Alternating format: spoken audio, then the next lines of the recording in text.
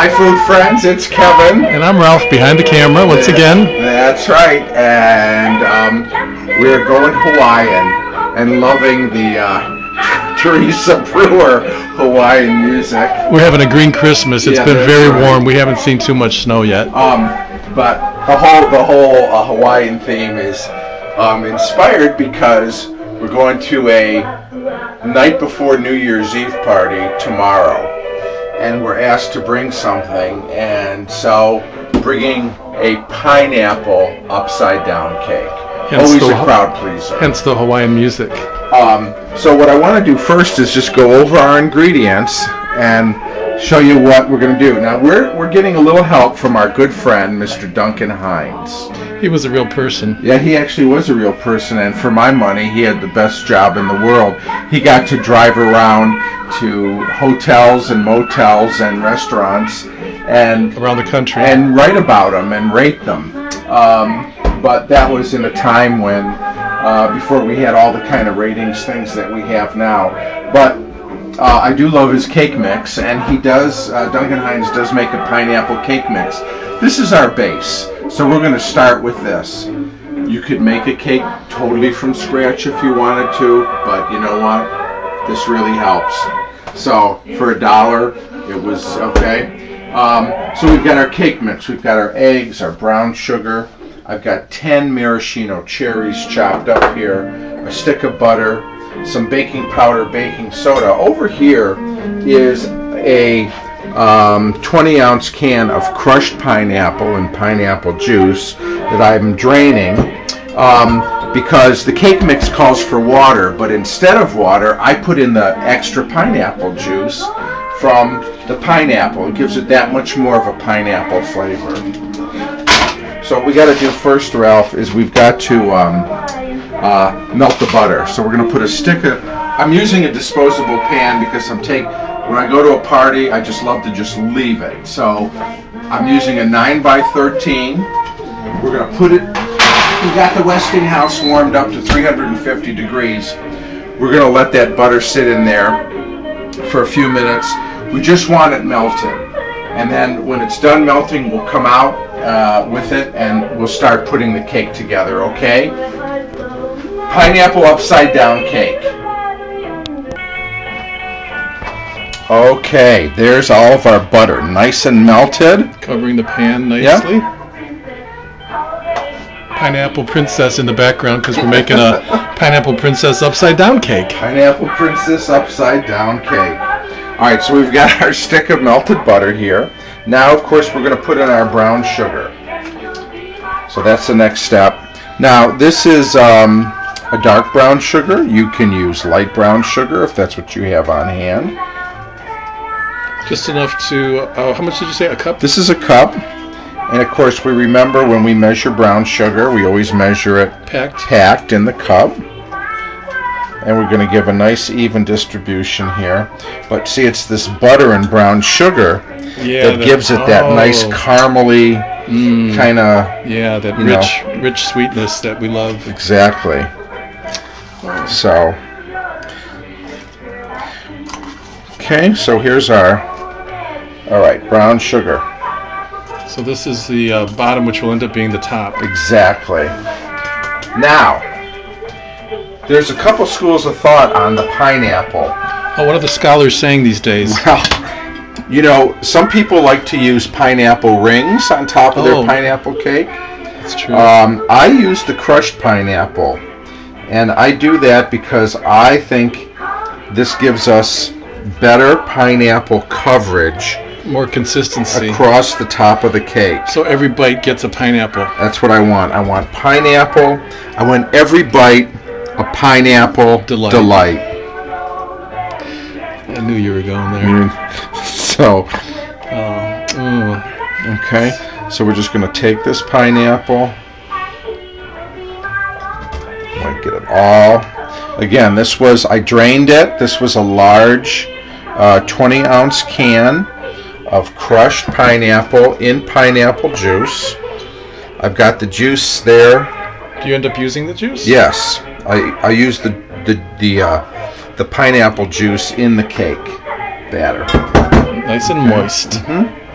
So let me just put this over here. Now, of course, in addition to the pineapple, we want to put in our cherries.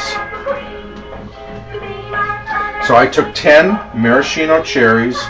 Again, we like our cherries, and we're going to just sprinkle those across the top so that, again, like the pineapple, everybody gets A cherry delight in a every bite. little bit of that fun red. I'm really loving the, Maraschino the colors that we're developing here between the butter, the brown sugar, the pineapple, and now the maraschino Yeah, cherry. cherries, Yeah, look okay. at that. That's a, it's a Jackson Pollock food masterpiece. So we've got our base down. So for our essentially what's on the bottom, that will be on the top.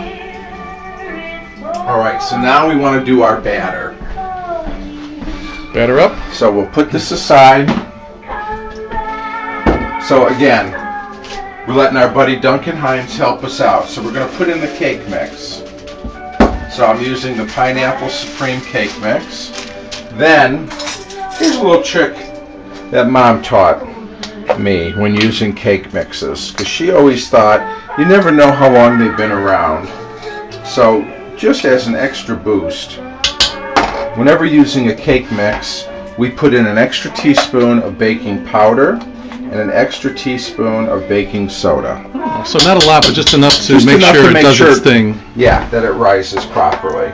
This is a pretty fresh mix, so I'm not so worried about it. Does the added baking soda or baking powder do anything to the um, texture or you know the, the lightness of it? Well, it ensures that it rises properly. Okay, we're going to, it calls for one third of a cup of oil. So here we go, one third a cup of oil. We'll put that in there. Then it calls for one and one third cup of water. This is where our pineapple juice comes in. Oh, instead of water, you're Instead using of water, I'm using the pineapple juice. Okay, so we got our we had a little camera issue, so I don't know where we're at, but I'm putting our three eggs in here. See it flashing? Okay, so we've got our eggs, our oil, our water, and again, I substituted the water for the pineapple juice, so we're going to get this baby mixed up.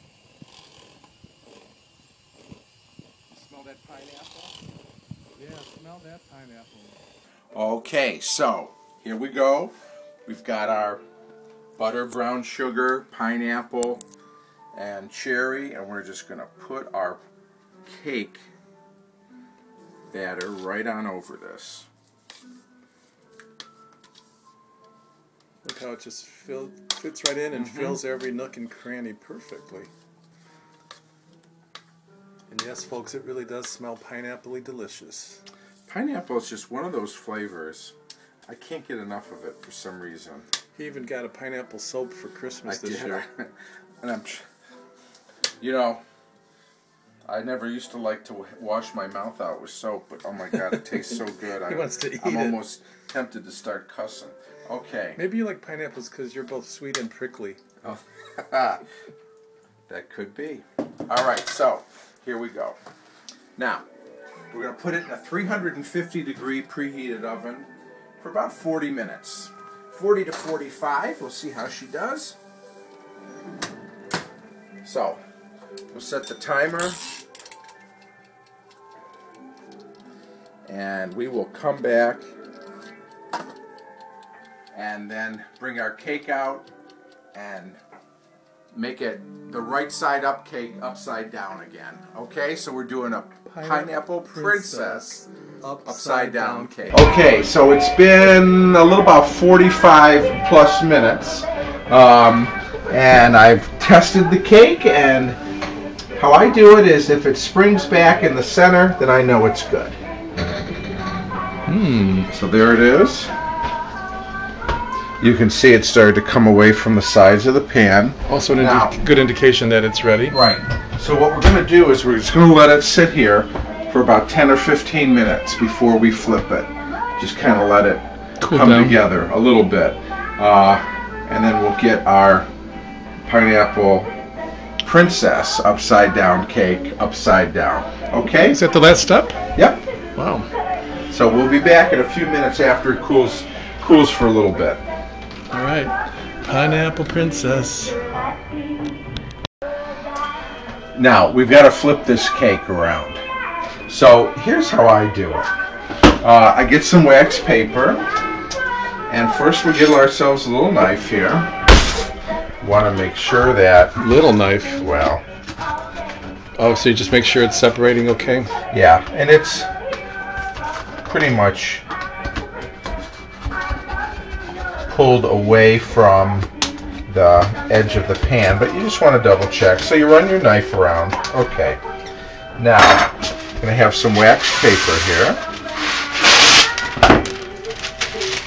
Okay. Cover it over the top. Yep. Ready to flip your wig? So we're just going to flip.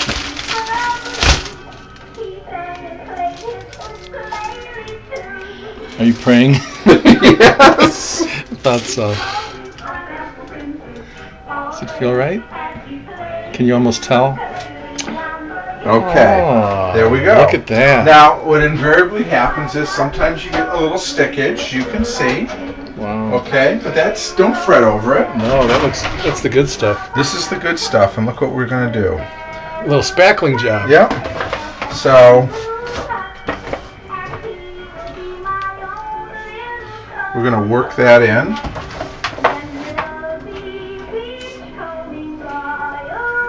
And then does this go right back in the same pan? Yeah. Now you're gonna let it cool. We're gonna let it sit there and cool. Okay.